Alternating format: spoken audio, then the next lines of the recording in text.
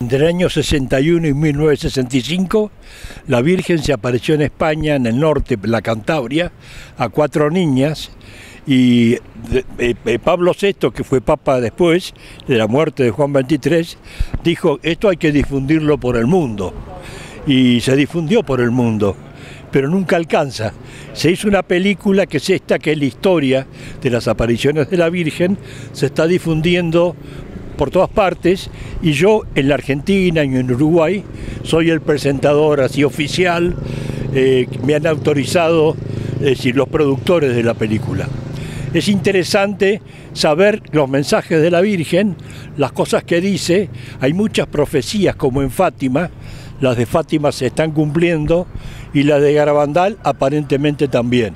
Es interesante el ver la película, escucharla y entender realmente cuál es el mensaje de la Virgen, que en el fondo es lo más importante.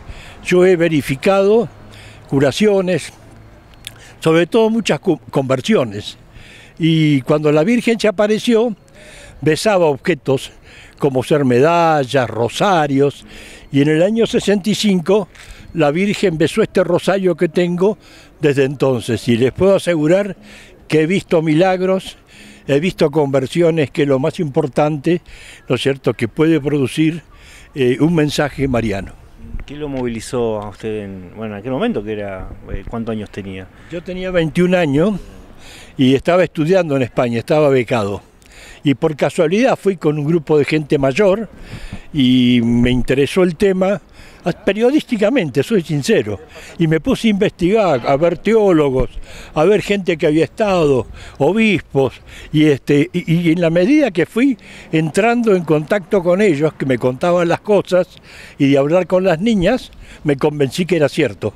Y empecé a dar conferencias hasta el año 68 cuando me casé. Hay una anécdota interesante, que es que en el 68, antes de casarme en julio, estaba en Montevideo con los padres de los famosos sobrevivientes de los Andes del 72. Y cuando cayó el avión, el 13 de octubre del 72, los padres que habían estado en mi conferencia le pedían a la Virgen de Garabandal hallar a sus hijos. Y los hallaron en vísperas de la Navidad del 72. O sea, el poder de la oración es maravilloso. Yo mañana voy a contar la anécdota personal de este rosario que besó la Virgen, porque yo lo di y un día volvió a mí.